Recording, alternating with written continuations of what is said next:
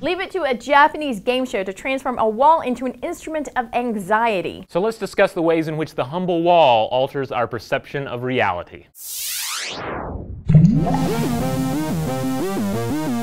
We tend to think of walls as concrete manifestations of our desire to organize the physical world around us. Without them, there'd be total transparency in nearly everything we do, including our special bathroom time. We need these barricades as a fortress against the real and imagined hardships of life, affording us just a tiny pocket in the universe to retreat to and conduct our lives in privacy. But what happens when a wall becomes something else, maybe even a symbol of political will or military might? Well, in one case, you create a 2,800 mile monument to warring factions, a grand illusion of security. The Great Wall of China is a discontinuous series of walls built by different people at different times. In some places it was left to crumble, in others it was rebuilt, and at times it was extended all over a 2,000 year period. It was used as a defense against nomadic tribes as well as demons of folklore that came to dominate ideas about so-called barbarians and foreigners. And this sort of physical division between nationalities, cultures, or even internal civic strife can be seen elsewhere in history. Stone curtains continue to be drawn around the world. Since 2006, the U.S. has erected 600 miles miles of fence along its Mexican border, and Israel is building a 400 mile West Bank barrier, plus another 165 mile fence along its Egyptian border. But you don't need brick and mortar walls to create a divide. You just need a map outlining territories and what turns out to be an abstraction of power and political will. And the idea of walls becomes even more pervasive and innocuous when you consider the various ways in which we come up against blockades of information firewalls, censorship, and hierarchical levels of information. You could even say that building metaphorical and concrete walls is intrinsic to us, perhaps perhaps even baked into the fabric of the universe. In 2003, the Sloan Digital Sky Survey discovered filaments known to span vast distances between galaxy clusters, forming a lattice-like structure, creating a kind of cosmic web Great Wall. According to Louise Edwards, a postdoctoral researcher at the California Institute of Technology in Pasadena, these filaments are integral to the evolution of galaxy clusters, among the biggest gravitationally bound objects in the universe, as well as the creation of new generations of stars. So ponder that the next time you use the bathroom and reach for your favorite favorite book of maps. So does that give you a completely different read on Humpty Dumpty? Was he a political pawn or an aggressor? Let us know in the comments below, and to keep the videos coming, make sure to subscribe.